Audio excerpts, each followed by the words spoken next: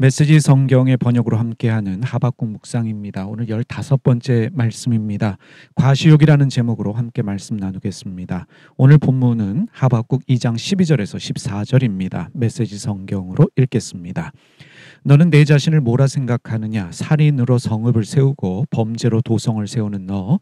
만군의 하나님이 그런 일은 결국 잿더미가 되게 한다는 사실을 모르느냐? 내가 그 일에 힘을 쏟을수록 점점 더 하찮은 존재가 되게 한다는 사실을 모르느냐?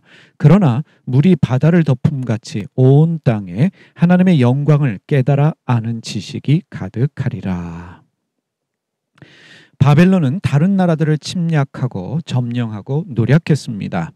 악한 바벨론은 소유욕이 강했습니다. 이에 대한 빼앗긴 자들의 비난과 저주가 하박국 2장 6절에서 8절까지의 말씀입니다.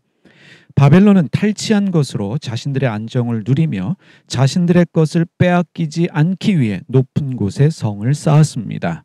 이러한 바벨론의 이기주의적 안정력에 대한 비난과 저주의 말씀이 하박국 2장 9절에서 11절의 말씀입니다. 어제 우리가 살펴보았던 말씀입니다.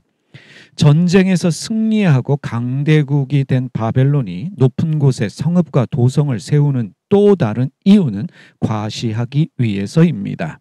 이러한 과시욕에 대한 사람들의 비난과 저주가 오늘 우리가 읽은 하박국 2장 12절에서 14절의 말씀입니다.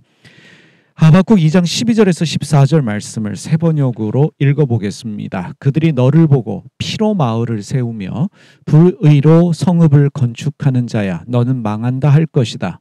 내가 백성들을 잡아다가 부렸지만 그들이 애써 한 일이 다 헛수고가 되고 그들이 세운 것이 다 불타 없어질 것이니 이것이 바로 나 만군의 주가 하는 일이 아니겠느냐 바다에 물이 가득하듯이 주의 영광을 아는 지식이 땅 위에 가득할 것이다.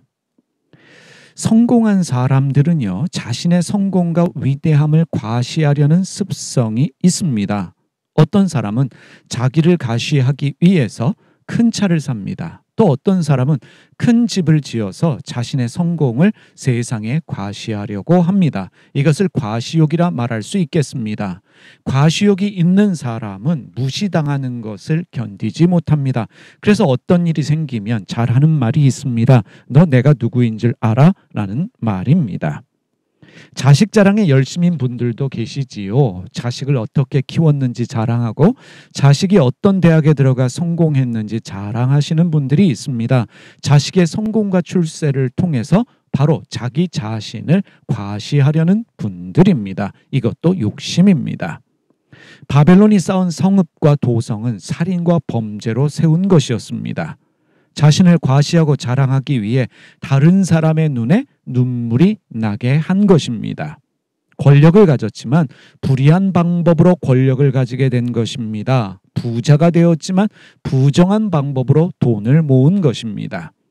다른 사람의 눈에 눈물이 나게 하고 다른 사람의 배를 고프게 하면서 자신만 기쁘고 배부르게 먹은 사람들입니다.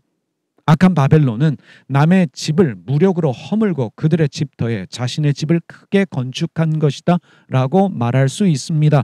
그렇게 지은 집을 통해서 자신의 업적을 자랑하며 자기의 힘을 과시하고 있는 바벨론은 악하다라고 말하는 바벨론은 결국 하나님의 심판을 피하지 못합니다.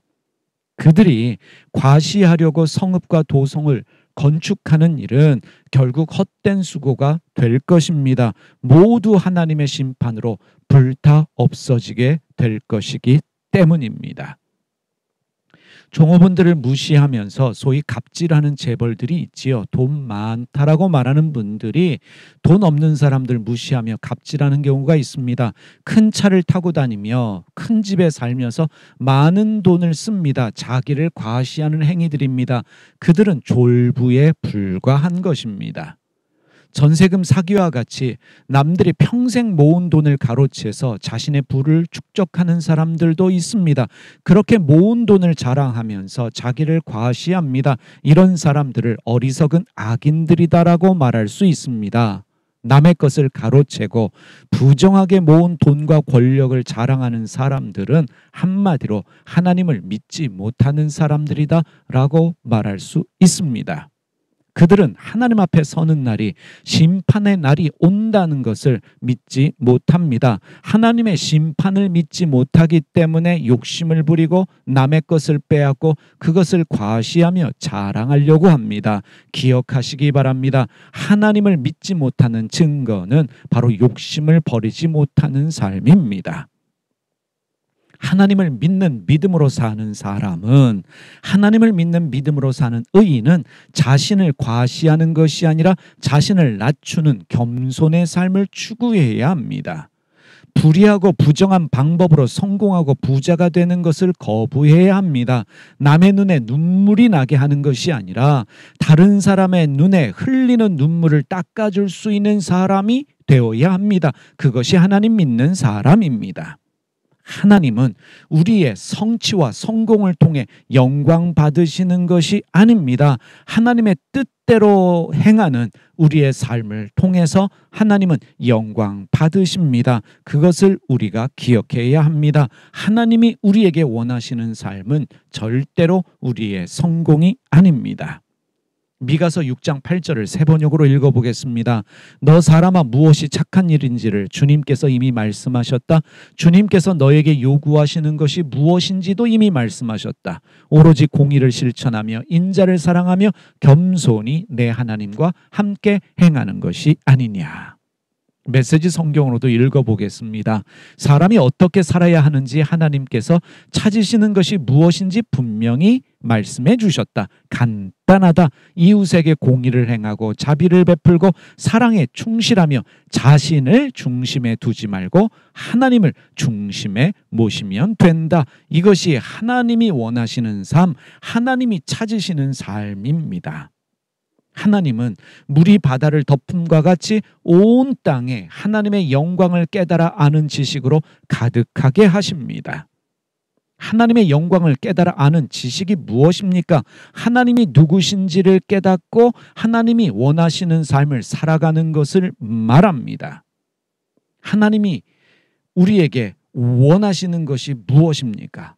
하나님을 믿는다라고 말하는 우리에게 원하시는 것은 하나님을 믿는다라고 우리가 말하면서 하나님의 뜻과 상관없이 불의를 행하며 그 불의를 통해 얻은 성공과 부를 과시하는 삶을 살아가는 자들이 아니라 하나님의 뜻과 성품을 이해하고 하나님 뜻 뜻대로 살아가는 사람들이 되기를 원하십니다.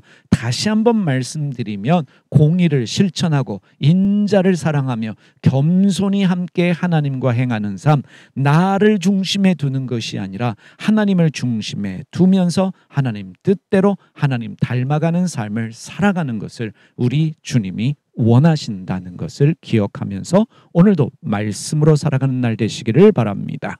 기도하겠습니다. 살아계신 하나님 아버지, 하나님이 우리에게 원하시는 것이 무엇인지를 깨닫고 공의를 실천하며 인자를 사랑하며 나 자신을 중심에 두는 것이 아니라 하나님 중심에 모신 삶, 하나님 뜻대로 살아가는 삶을 살게 하여 주시옵소서. 무엇보다도 내가 이룬 성공을 통해 내가 이룬 부를 통해 나를 자랑하려는 것이 아니라 나의 삶을 통해서 하나님을 드러내게 하여 주시옵소서 나를 낮추는 겸손한 삶을 살아가는 우리의 삶이 되게 하여 주시옵소서 예수님의 이름으로 기도드립니다. 아멘.